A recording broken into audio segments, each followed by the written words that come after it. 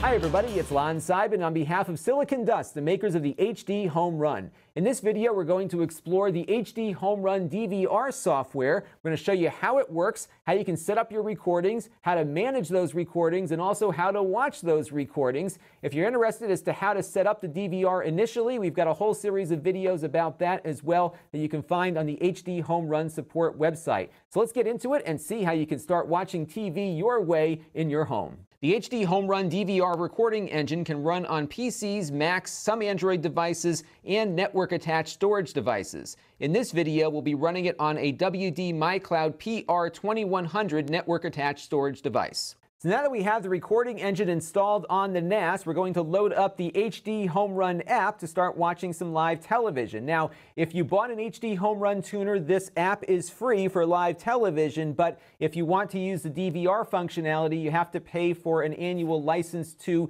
the DVR service. And once you do that, uh, this app will automatically turn into your DVR client also. It's very smart, just finds everything on the network and off it goes. And this will be the same interface, by the way, that you'll see on all of the other platforms that SiliconDust supports with their devices. So all the uh, stuff here you're going to see will work the same across Windows, Amazon devices, and everything else. So right now we're watching live television. This is the Weather Channel. And because the recording engine is now acting as the intermediary for live television on my network, uh, we're only going to be using one tuner, uh, even if more than one person in my home is watching the Weather Channel right now. So basically everything is streaming into uh, the WD box here and then out to the client. So if my uh, wife in the other room decides to turn on the Weather Channel, we're not going to lose uh, two of our tuners to this activity, uh, just one because the tuning is all happening here inside of our NAS box. And this is a, a, time shifting application here. So while I'm in the live television, I can go in and pause it like I just did there. I can go ahead and start it back up again. And I can also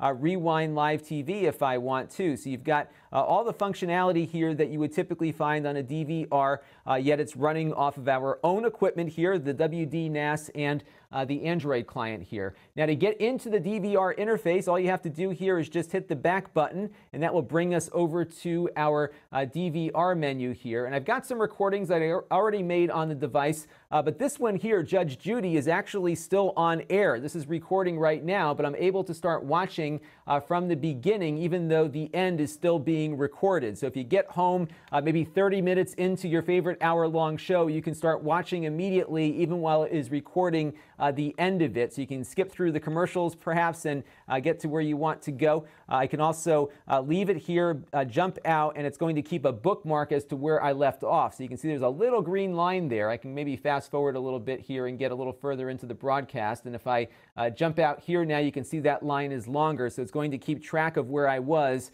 uh, even with a recording that is in progress. Now, they've implemented a couple different ways that you can discover content, both to watch live and record. And we're going to start within the DVR interface here, but I'll also show you another way you can explore content through the live TV interface. So the first thing we're going to do here is go up to Discover using our remote here. So I'm going to click on that and that's going to bring us up to uh, what is currently on television. So these are things that are airing right now on TV. You can see that we're still recording Judge Judy and Live PD here. Uh, but let's say I maybe want to record Ancient Aliens, for example. So I can go in here and it will pull up all the air times of Ancient Aliens that I might want to record. Now, if I go over here to watch now, it will go over to the live interface and start uh, tuning it live like we saw before. But if I want to record the series, I can just push my button here and uh, record the entire series. Now, what's happening right now, you can see, is that it's recording everything that is currently on the list. But if I go over here to always, and hit the button to recent, uh, this will limit things to just episodes that aired in the last 90 days. So you can see uh, immediately it eliminated all this stuff because uh, this first episode, for example, here was broadcast initially in 2015. So even though it's airing right now, it wasn't made in the last 90 days and therefore is not going to record. There's also some smarts going on behind the scenes. So it remembers uh, what it previously recorded. So if it uh, recorded an episode maybe a month ago that then suddenly shows up as a rerun, it will not pick it up again. So even though that that one's 90 days or less than 90 days old uh, because it is something that broadcast already and was recorded. It knows not to record it again. So it does some things behind the scenes that you don't have to instruct it to do. It's also going to favor the HD broadcast, even though it's showing that it's going to record on both the HD and standard definition station. Uh, because these are both airing at the same time, it will only go to the HD version of that show. And again, because it's going to grab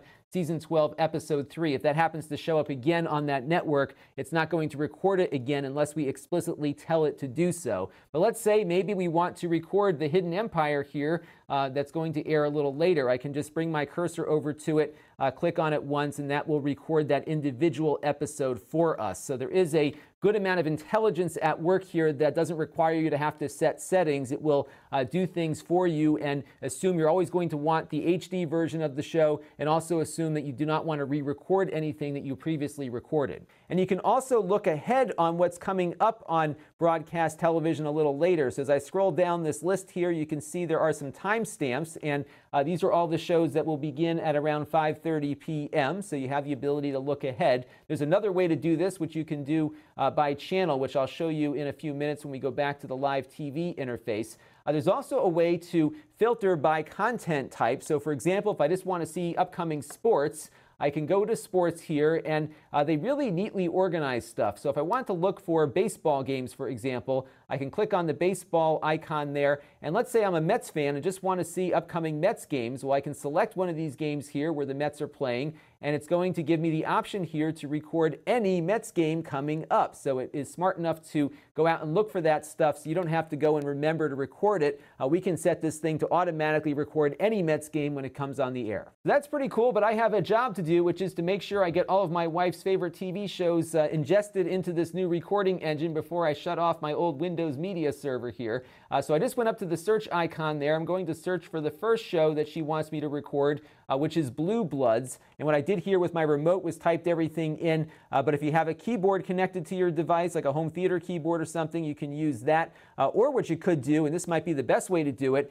uh, is run the HDHomeRun client on your computer so you can type things in very easily, and that will automatically sync up to the uh, WD My Cloud here, but it will also allow you to manage those recordings recordings from any other client, including ones that use a remote, because it's all networked together, which makes it really simple. You can set up a recording on any device, and all of the other devices will be able to benefit from that recording after it's done. Now I'm going to go over here to Blue Bloods, and we're going to set this to record, and I'm going to hit record series, and I'm going to say recent, and what that means is that nothing is going to get recorded because there aren't any recent episodes that are currently slated to air, but that's fine because once one is ready to air, it will pick that up and record it. But one thing you have to think about is conflict management, which is another important feature of a DVR, and they've built that into this one as well. So we've got this set to record now. I'm going to go over here to tasks, and you can see now uh, we have a few one-time recordings set up here which take priority, uh, but I also now have a bunch of shows here. So we have Ancient Aliens, Star Trek The Next Generation, and Blue Bloods. Now I want to make sure that my wife's show always gets recorded, so I'm going to move this up on the priority list here. And that way, uh, if, for example, Ancient Aliens comes on at the same time Blue Bloods comes on, and there's only one tuner available, it will choose Blue Bloods over Ancient Aliens. And there's certain priorities in this house, and uh, that one is one that I will certainly enforce on here because I don't want her to miss her show. If you are having many scheduling conflicts, adding additional HDHomeRun tuners to your network will automatically allow for more simultaneous recordings. Now, if I want to adjust something uh, after that task has been created, for example, example, maybe I'm done with Ancient Aliens, I can click on that task and I can reset the recording uh, strategy here so I can go from recent to all if I want, uh, or I can just delete the task completely and take it off my task list and never record it again. So you can see uh, how you can manage some of your tasks after you set them up to record. So you can see there how you can adjust some of your active tasks to make sure nothing gets missed. And uh, they also have a feature for padding. So if you're noticing that your favorite show is maybe starting a minute or two earlier than they're specifying in the listing, uh, you can adjust for that here. So let me jump into uh, Star Trek The Next Generation, for example. And if you look over here in the right-hand corner, there's a start and end uh, buffer. And by default, it's going to give you 30 seconds before the start time and 30 seconds after uh, but you can adjust these to be as short or as long as you want. So you could add, you know, two or three minutes to the start of the show and to the end of the show to make sure that you get it all. Uh, so if you're noticing there are some discrepancies in your listings on certain shows, you can adjust that manually here to apply to all future recordings. Now, I did show you already how to play back a recording, but I wanted to show you some of the management of that now. So I'll go over here to our recorded section again. I'm going to click on the Judge Judy show because I have two episodes recorded in there now. And you can see we've got the one we watched earlier when it was going live. It retained that bookmark position. Uh, what I can do here is go back to the uh, little refresh icon and uh, restart it from the beginning if I want. So you can see here it is starting right from the very beginning of the recording. So that is in there. I'll go back over to it and maybe I want to delete this now so I can just click on the uh, trash icon to the right here and uh, when I do that I can set it to just delete the episode uh, or I can have it re-record the episode because maybe I got a bad recording, maybe something interrupted the show that I wanted to record. Uh, so the next time that episode airs, it will pick it up again. Otherwise, it won't because remember, it will never re-record something it already did. So we're just going to delete that episode uh, and move on there. So now I want to return to the live TV broadcast to show you another way to uh, find content on the DVR system here. This is their uh, live interface that you'll also get even without the DVR. And what you can do here, of course, is browse all of the uh, active listings currently on air. And if I wanted to see perhaps what was coming up on CNN a little later, I can navigate over to it. And then if I hit the right button, you'll see what they call the slice view appear. And I believe they patented this. And what you can do is go ahead here and maybe I want to record the 80s that's going to air a little later. I can click the button right on that. It's going to bring me right over to the listing for that show on the recorder here. I can hit record series and uh, grab it there as well. Now remember, this is a networked DVR, so all of the other devices in your home have access to everything that any other device does. So for example, uh, this little tablet here, because we're running the HDHomeRun app, has exactly the same uh, recordings that this NVIDIA Shield TV has because they're all networked together through the NAS. So I could go back to my uh, Judge Judy episode that we recorded earlier. I can click on here and start watching it just like I would on any TV in the house. Now, whatever device you use has to be in your home. This is a